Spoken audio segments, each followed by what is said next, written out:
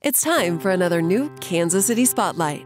Here's your new host, Lauren Scott. A Holocaust survivor and former radical Islamists are coming together to create a documentary combating anti Semitism all around the world. I'm Lauren Scott, your new host for Kansas City Spotlight, and the new film, Never Again, comes out all over the country this month. And today we have film director Rick Eldridge and one of its main subjects, Kasim Hafeez, here with us today.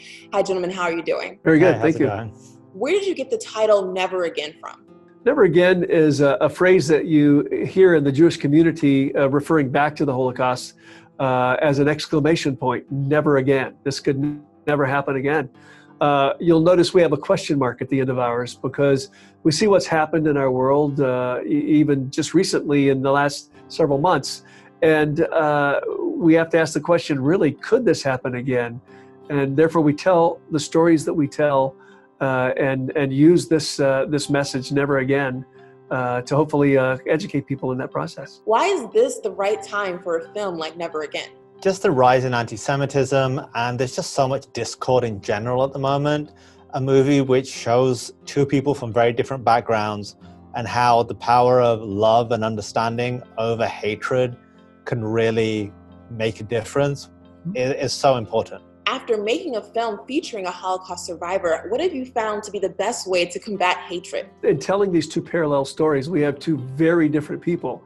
Uh, in Irving, uh, uh, a Jewish Holocaust survivor, and then Kasim, who dealt with the, the, the, radical issues in his life. And uh, as we tell those stories, uh, you, you, you do learn so much about culture. You learn about the, the differences in people, but also the, the idea of how we can learn and understand and accept all people for who they are. Uh, we don't have to agree on everything, and and we don't all look alike. But there are so many things that we can we can learn from each other, and that we can uh, become better people because of.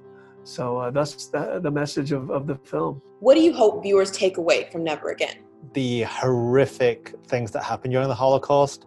Two, they see how the words we say and the actions that we do can be so detrimental to those around us. How people can be radicalized as children just by hearing comments, just by hearing little statements, and how deep and impactful they can be.